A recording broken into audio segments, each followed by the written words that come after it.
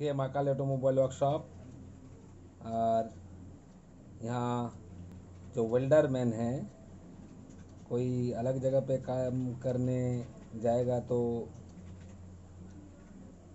Experiment जो बोलते हैं एक्सपीरियंस एक्सपेरिमेंट सभी सर्टिफिकेट यहाँ मिल जाता है।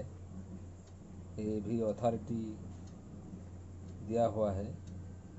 तो देखिए, एक लड़का बाहर से काम पे जाएगा, वेल्डर की हिसाब से तो उसी को दिया हुआ है। ये